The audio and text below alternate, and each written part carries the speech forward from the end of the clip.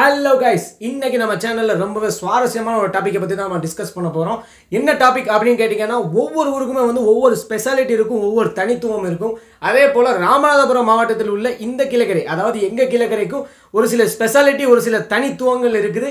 அதை பற்றி தான் இன்றைக்கி நம்ம வீடியோக்குள்ளே போக போகிறோம் வீடியோக்குள்ளே போகிறதுக்கு முன்னாடி நம்மளோட சேனலை யாராவது சப்ஸ்கிரைப் பண்ணாமல் இருந்தீங்கன்னு சொன்னால் கீழே இருக்கக்கூடிய சப்ஸ்கிரைப் பட்டனை கிளிக் பண்ணி சப்ஸ்கிரைப் பண்ணிக்கிறங்க பக்கத்தில் இருக்கக்கூடிய பெல் ஐக்கானையும் கிளிக் பண்ணிருங்க. இப்போ நம்ம வீடியோக்குள்ளே போகலாம் welcome back to Fahad swags நான் உங்கள் ஃபகத் சொர்க்கமே என்றாலும் அது நம்மூரை போல வருமா?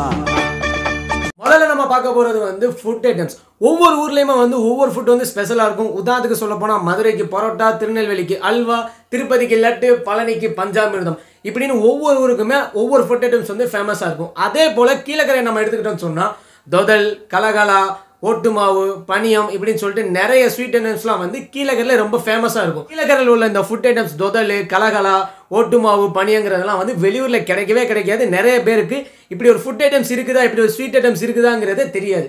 அதனால தான் இந்த இடத்துல வந்து இது தனித்துவமாக இருக்குது. ரெண்டாவதாக கீழக்கரில் தனித்துவமான விஷயம் என்னன்னு சொன்னால் லுங்கி.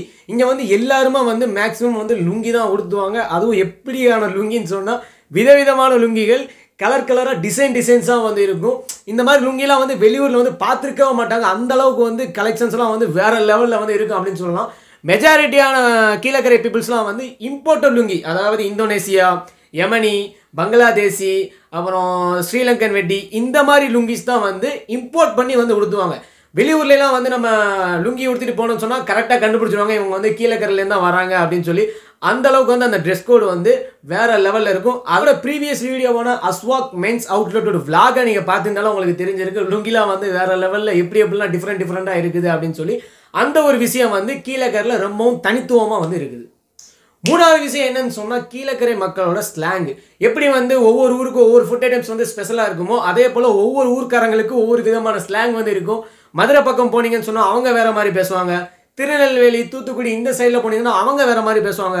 கோயம்புத்தூர் சைடு வேற மாதிரி பேசுவாங்க. சென்னை பக்கம் வேற மாதிரி பேசுவாங்க. இப்படி ஒவ்வொரு ஊருக்குமே ஒவ்வொரு விதவிதமான ஸ்லாங் வந்து இருக்கும். அதே மாதிரி கீழக்கரை மக்களுக்கும் விதவிதமான டிஃப்ரெண்ட்டான ஒரு ஸ்லாங் இருக்குது.